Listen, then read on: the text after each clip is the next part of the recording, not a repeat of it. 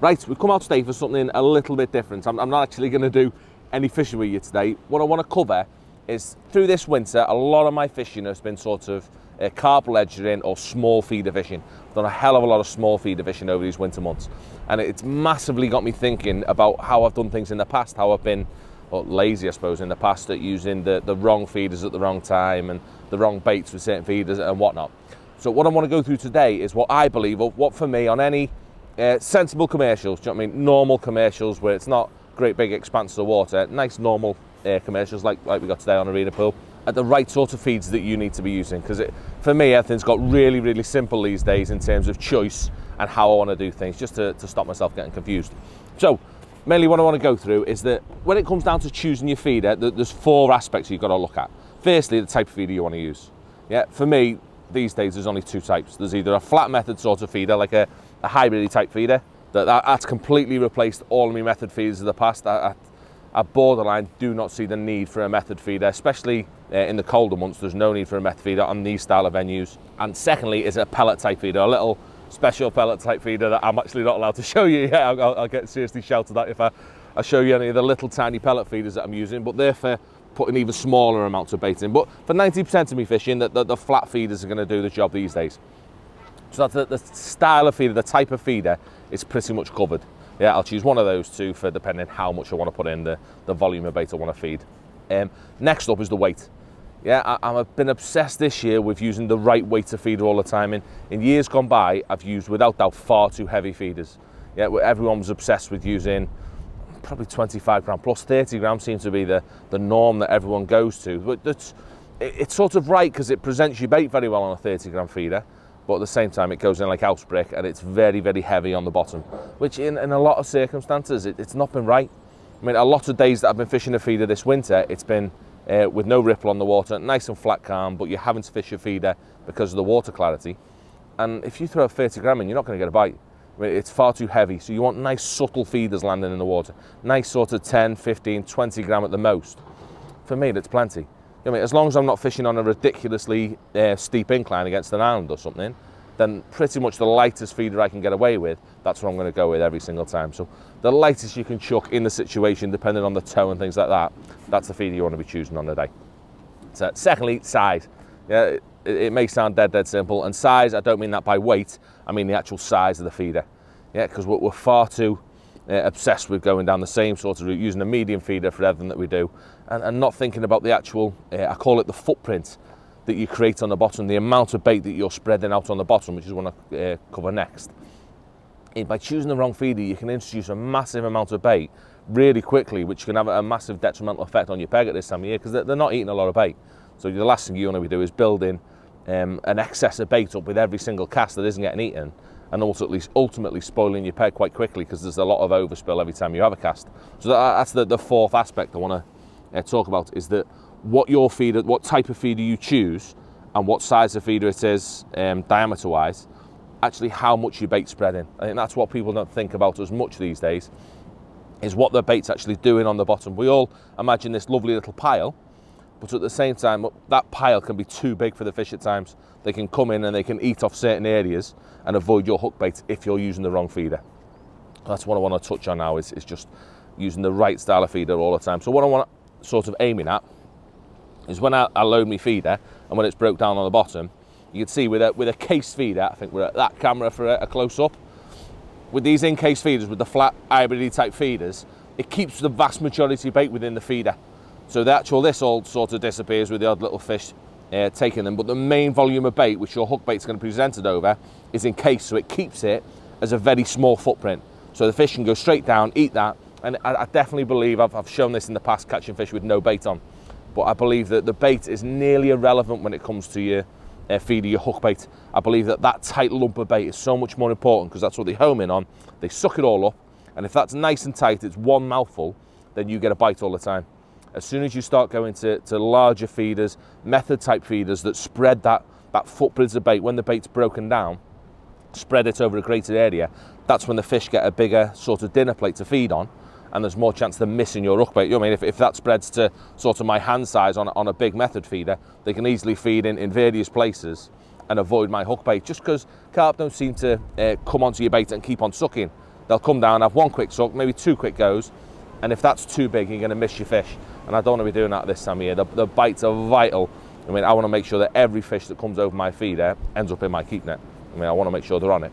Well, lastly, and possibly, oh, in fact, without doubt, the most important element that you've got to consider is the bait that you're putting on your feeder. Yeah, it's definitely not just a case of uh, wetting up some micros or mixing up a random bag of ground bait, chucking it in. It, will catch an odd fish, of course it will, but there's so much thought that's got to be put into what your feeder's actually doing or what effect your bait's having on the life of your peg, how long your peg's going to last with what your bait's doing when it's been in your peg and what's left in your peg.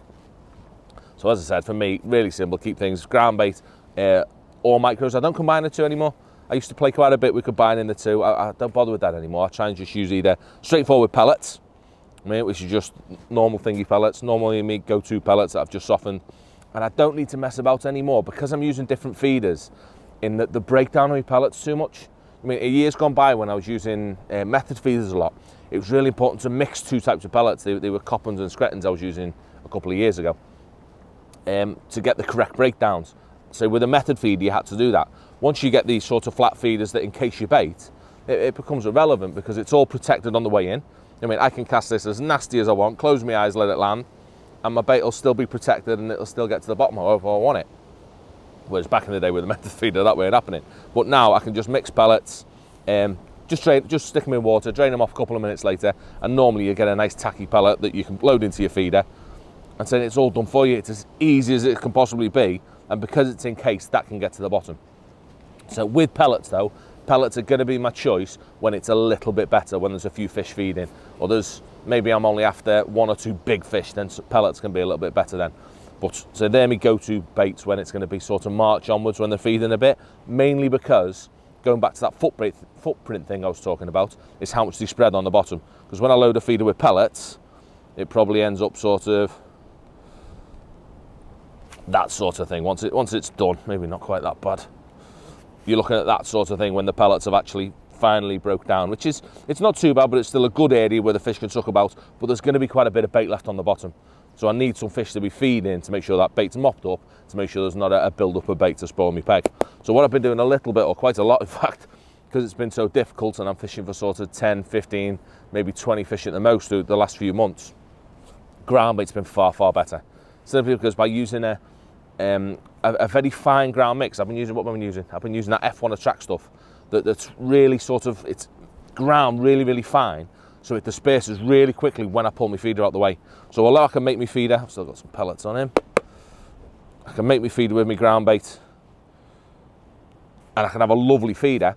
You can see that that's not gonna um, spill out too much once it actually breaks down. Do you know what I mean? There's minimal ground bait around my feeder. I'm probably getting that sort of thing, which the fish is always gonna home in on my feeder. But because it's such a fine mix, as soon as I pull my feeder, this if, if I haven't caught a fish or even if I have caught a fish, I suppose, when I pull that feeder to retrieve it, because it's so fine, because those particles in that ground bits have been ground so much, it, it, vanishes to nothing. Do you know what I mean? There's no uh, individual piles of bait left on the bottom once I retrieve my feeder, which can prolong my life a lot more when it's on difficult days, when I don't want to be building a peg, I just want a little single feeder in the middle of the nowhere, sort of setting a trap. And ground bait's been far more beneficial to doing that, and it's been getting me more bites uh, off the same area. I've not got to cast about as much as I did with pellets. So that's definitely been a key thing for me that I've learned so much about this year.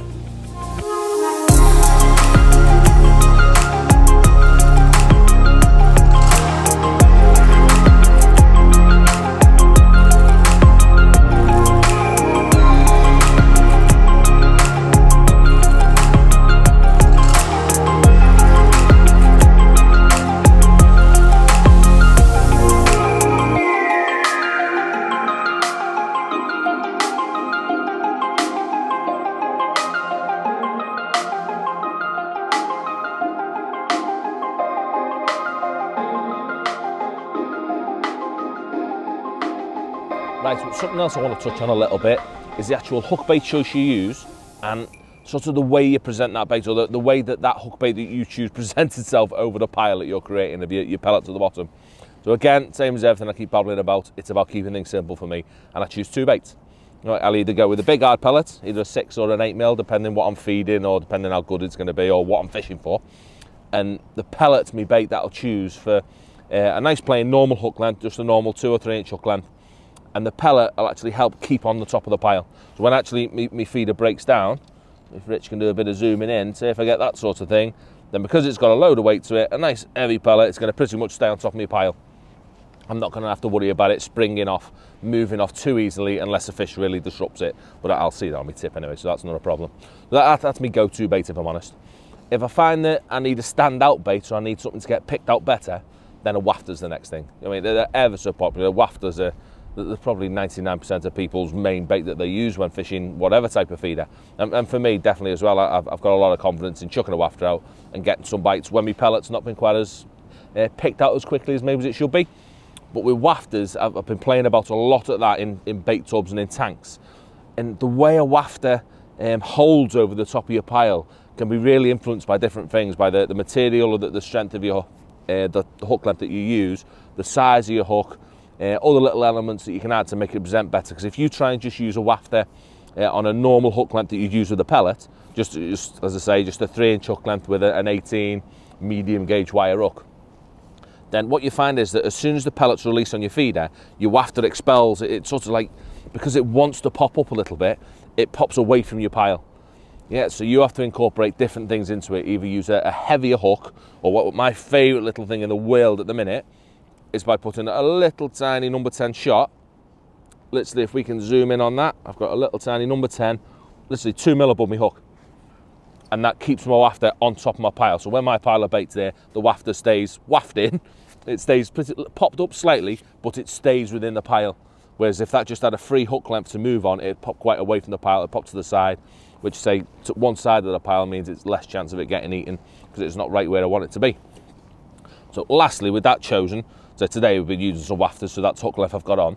And again, this is something I've touched on on a few videos before, but it's loading of your feeder, how important it is. This, this has come from my hero who I watch on video all the time, from Teddy Hearn, and the importance in having your, your hook in the right way so it ends up in the right place in the fish's mouth. And also it goes in the fish's mouth properly rather than just nicking it.